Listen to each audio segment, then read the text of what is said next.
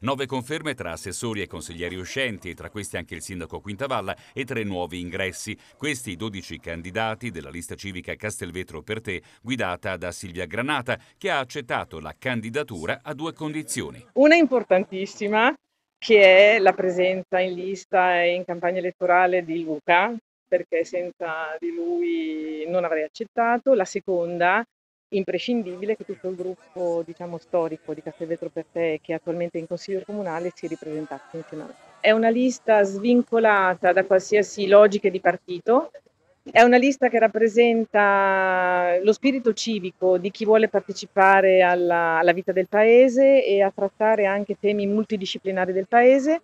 È una lista che mette a servizio del, del paese professionalità diverse e anche storie personali diverse. E poi ci sono tre nuovi ingressi, Lauretta Gatti, Elisa Magistrati e la 22enne Martina Zerbini. Tre donne in gamba, grintose, motivate, con le quali la squadra è veramente al completo.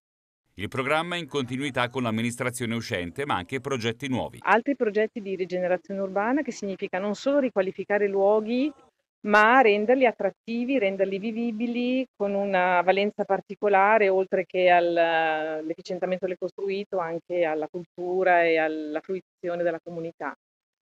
Poi ci rivolgeremo a una riqualificazione importante dell'area del Po, e poi azioni importanti ancora a favore delle famiglie nelle varie fasce di età. Sull'altro fronte il centrodestra non è riuscito a compattarsi e quindi potrebbe presentarsi con due schieramenti. Vivi Castelvetro, minoranza uscente che a giorni presenterà il candidato sindaco, e il neogruppo civico Castelvetro Futura che ha reso noto di presentare come candidata sindaca la 35enne Francesca Albanesi, laureata in beni artistici e storia e critica dell'arte, una figlia e un compagno, figlia di Maura Gandolfi, attuale consigliere di minoranza della Lega. Dunque al momento a Castelvetro una sfida tutta femminile. Nonostante le divisioni sarà comunque una campagna dura in un paese dove alle ultime politiche il centrodestra ha preso quasi il 60%. Il sindaco uscente è Quintavalla.